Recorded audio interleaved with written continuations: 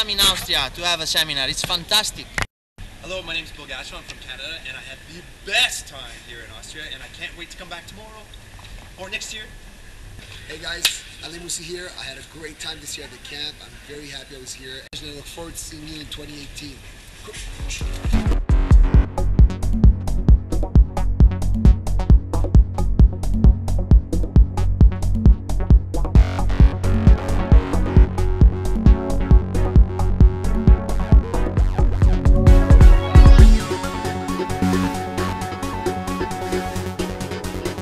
Thank you.